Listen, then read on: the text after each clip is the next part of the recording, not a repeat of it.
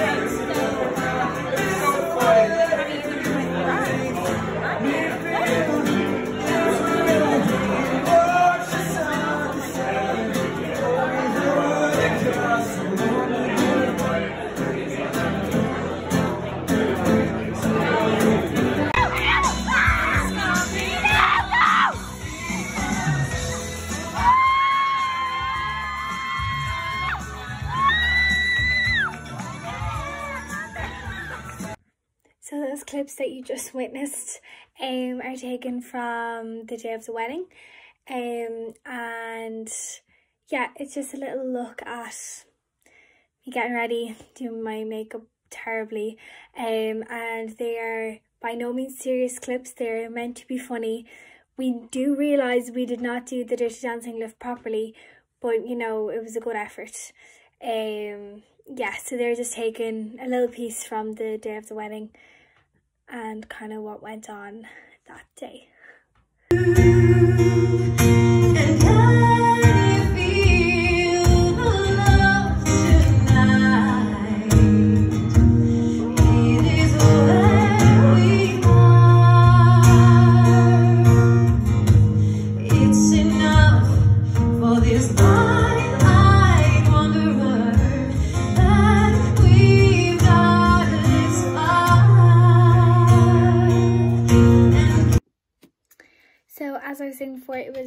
Monty week this week, um, which was completely hectic as we had so much preparation for that.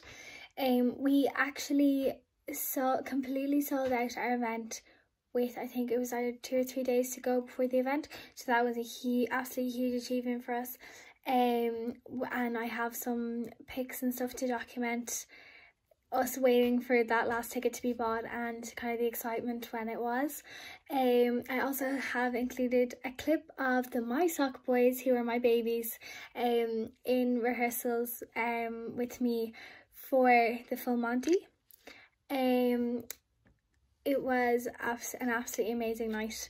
I'm so pleased at how it all went. Everyone seemed to enjoy themselves. Um, so we actually had that on Halloween night and it was fancy dress. Um, and then on top of that, I also had the opportunity to perform with the dolls at the Full Monty. So I have also included a clip of the dolls dancing.